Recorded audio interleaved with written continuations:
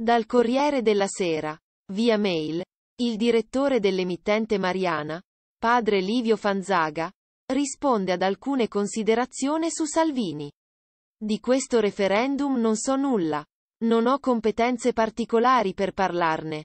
Ma è sulla fede ritrovata dal leader della Lega che Fanzaga parla con più cognizione di causa. Matteo Salvini visto da Radio Maria.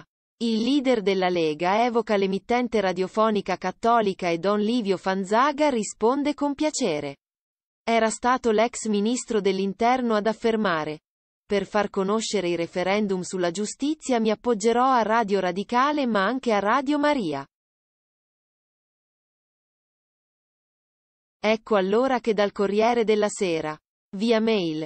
Il direttore dell'emittente Mariana, padre Livio Fanzaga, risponde ad alcune considerazioni su Salvini. Di questo referendum non so nulla. Non ho competenze particolari per parlarne. Ma è sulla fede ritrovata dal leader della Lega che Fanzaga parla con più cognizione di causa. Tempo fa ho letto che ha ritrovato la fede. Anche grazie alla Madonna di Meggiugorie.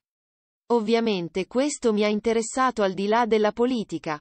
Gli faccio avere ogni mese, come ad altre personalità, i messaggi della regina della pace. Insomma, tra il celebre Don Livio e Salvini, nonostante l'ancora mancato incontro fisico, sembra esserci intesa. Soprattutto sul fatto che non nasconda la sua fede e la sua devozione mariana. Come invece non di rado succede nel mondo della politica.